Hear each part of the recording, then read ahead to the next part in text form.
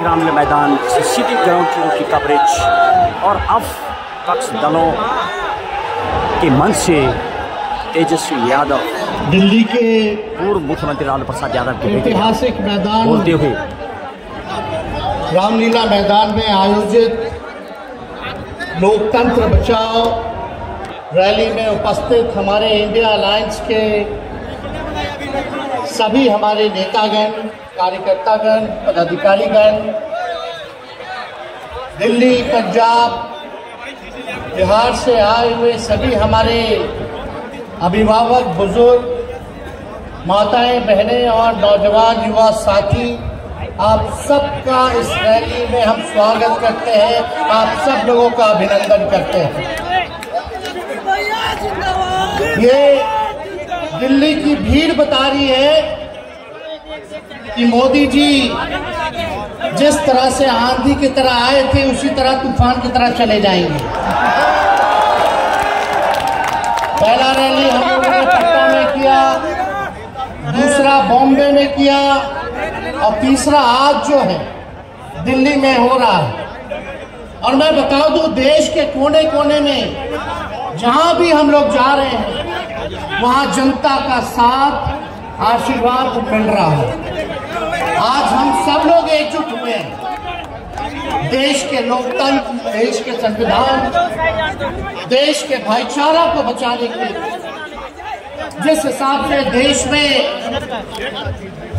बांटने का काम किया जा रहा है, इस लड़ाई में आपका साथ मिले, आपका आशीर्वाद मिले और आपका प्यार मिले। जो लोग नारा लगाते हैं अपनी बार 400 पार, उनका मुँह है, कुछ भी बोलेंगे। लेकिन एक बात तय है, जनता ही मालिक है। आप मालिक हैं। और आपको तय करना है कि देश के शासन में कौन बैठेगा, काम करेगा। आज यहाँ दिल्ली की जनता से पूछना चाहते हैं वो लोग नारा लगा रहे हैं। टारगेट फिक्स कर रहे हैं आपकी बार 400 पार। ऐसा लग रहा है कि पहले से ही ईवीएम सेटिंग हो चुका है। ये लोग फिर भी आप लोगों से पूछना चाहते हैं कि आप लोग, ये लोग जो नारा लगा रहे हैं, क्या वो सच होगा? या वो सत्ता से बेदखल करिएगा? हाथ उठा के बताइए। इनको सत्ता से बाहर करना है कि नहीं करना? आज हम सब लोग देख रहे हैं कि देश में आघोषित इमरजेंसी लागू हो चुकी है। देश में सत्ता में जो लोग बैठे हैं तानाशाह रवैया अपनाने का काम कर रहे हैं। घमंडी हो गए लोग। और आज हम लोग किसी को गाली देने नहीं आ रहे लेकिन जो आँख से देख रहे हैं वो बताने आ रहे हैं। जो महसूस कर रहे हैं, वो बताने आए हैं, सत्ता में लोग जो बैठे हैं, विपक्ष का धर्म बनता है, कर्तव्य बनता है कि उनसे हम लोग सवाल करें। आज मेरा मानना है कि देश में सबसे बड़ा अगर दुश्मन है तो बेरोजगारी है, महँगाई है, गरीबी है। आज यहाँ लोग हैं, नौजवान हैं, नौजवानों से पूछना चाहते बताओ कितने नौजवान यहाँ जो है, मोदी जी ने नौकरी दिया हाथ उठा के बताइए। कोई नहीं मिलेगा।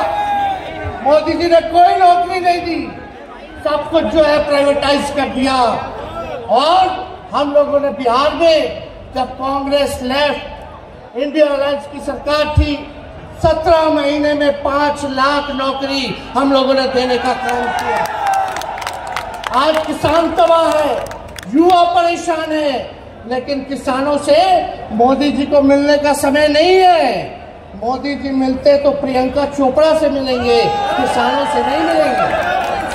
अक्षय कुमार को इंटरव्यू देते थे पिछले चुनाव में। एक बार बिल गेट्स को बुला करके इंटरव्यू देने का काम कर रहे हैं। लेकिन किसानों की समस्या कैसे हल होगी, ये नहीं बता रहे किस कितने संबंधी थे सब पर केस मुकदमा किया। अभी बिहार चले जाइए। कई हमारे नेताओं पे छापेमारी चल रही है। कई जगह ईटी का रेट चल रहा है आईटी का रेट चल रहा है। लेकिन हम लोग घबराने वाले लोग नहीं।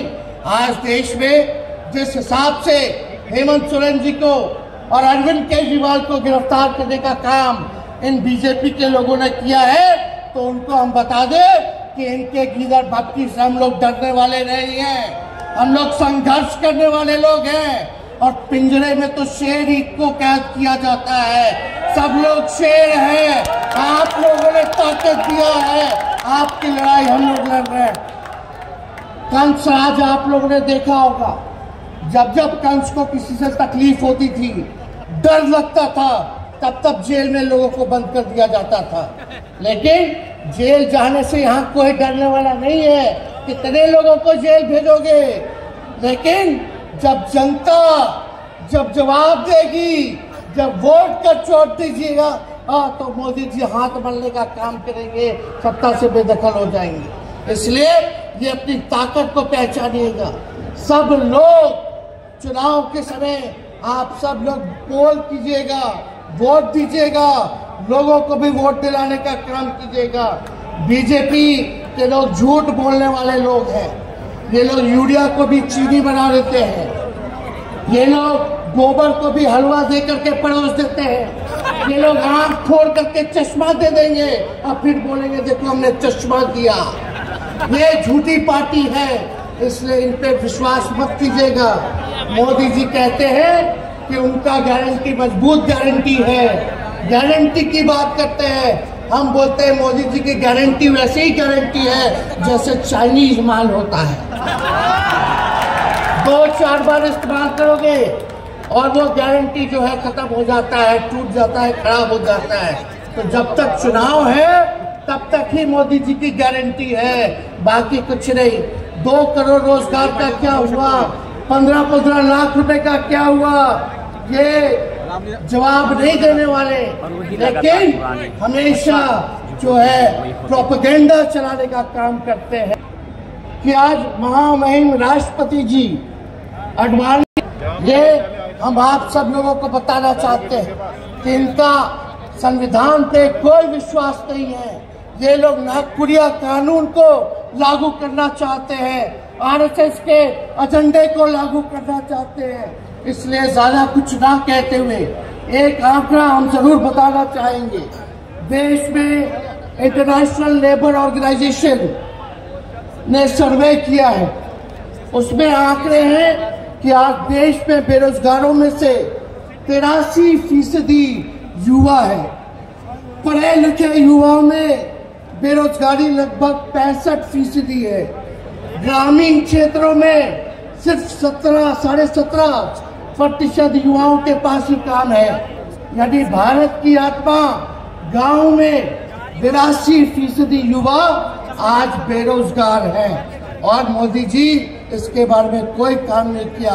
आप एक बार विश्वास कीजिएगा, अगर इंडिया सरकार की अलायंस की सरकार बनती है तो नौजवानों को हम लोग नौकरी देने का काम करेंगे। बेरोजगारी को दूर करेंगे। और जाते जाते बहुत सारे नेताओं को बोलना है, लेकिन एक अंत हम करेंगे एक गाने के साथ। और आप लोगों ने गोविंदा का फ़िल्म का एक गाना सुना होगा। कि तुम तो धोखेबाज हो। वादा करके भूल जाते हो। रोज रोज मोदी जी, तुम ऐसा करोगे? रोज रोज मोदी जी, तुम ऐसा करोगे? जनता जो रूठ गई तो हाथ मलोगे। अरे तुम तो धोखेबाज हो, वादा करके भाग जाते हो। तो आप सब लोगों का बहुत बहुत धन्यवाद। आप सब लोगों का आशीर्वाद मिले और हम सभी लोगों जो है, आज मिसेस केजरीवाल और हमारी बहन कल्पना जी के साथ हम लोग जो है मजबूती के साथ खड़े हैं और इस लड़ाई को लड़ेंगे और जीतेंगे। बहुत बहुत धन्यवाद। जय हिंद। बहुत बहुत धन्यवाद। मैं एक